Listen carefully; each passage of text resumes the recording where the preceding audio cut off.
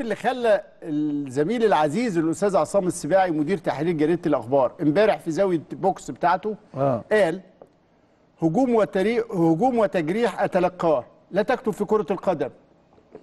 كيف وهي في خطر؟ لا تتحدث عن الأهلي. بيقول كيف وهو مستودع الأخلاق والرياضة. لا تدافع دائما عن الخطيب فهو ليس ملاكا. قال لك كيف وهو حتى الآن النموذج المثالي للشخصية الرياضية. نعم هو ليس ملاكا ولكنه أقرب إلى الملاك. عيد ميلاد سعيد يا ملاك الكرة.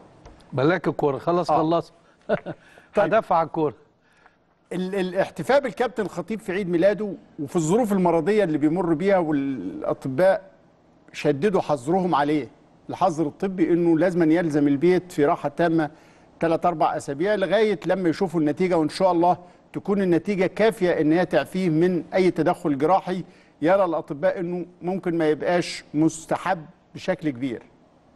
لكن في هذا الظرف كان المستشار تركي آل الشيخ رئيس مجلس إدارة الهيئة العامة للترفيه في المملكة العربية السعودية مشكورا آه، أرسل وفد للاطمئنان على الكابتن محمود الخطيب في بيته. وده اللي عبر عنه الكابتن محمود الخطيب بحفاوة وامتنان وتقدير. وقال الكابتن الخطيب إنه بيعبر عن خالص شكره وامتنانه لمعالي المستشار تركي آل الشيخ رئيس مجلس إدارة الهيئة العامة للترفيه بالمملكة العربية السعودية لاهتمامه البالغ بإرسال وفد من الأشقاء إلى منزله للاطمئنان على صحته متمنين له الشفاء بعد عمليات الحقن التي أجراها أخيرا.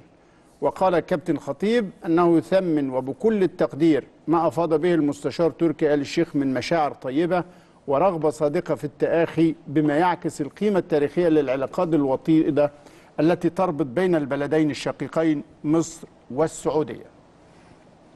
أنا يوميها بالصدفة كنت عند الكابتن الخطيب في البيت بطمئن عليه وكان في اجتماع للجنة التخطيط. قال لي استنى خليك حضرنا الاجتماع واتكلم معايا في بعض الأمور كده وعرفت إن في جاي له حد يعني إحنا مشينا من هنا وهم وصلوا. وبعد كده شفنا تفاصيل ال- اللي حصلت وما كتبه الكابتن محمود الخطيب.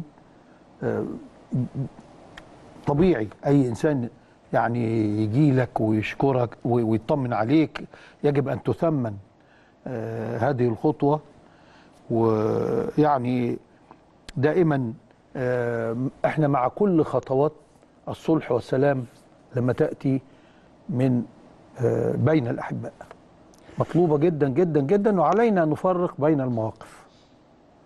مش موقف المحب زي مواقف أخرى. اتفضل.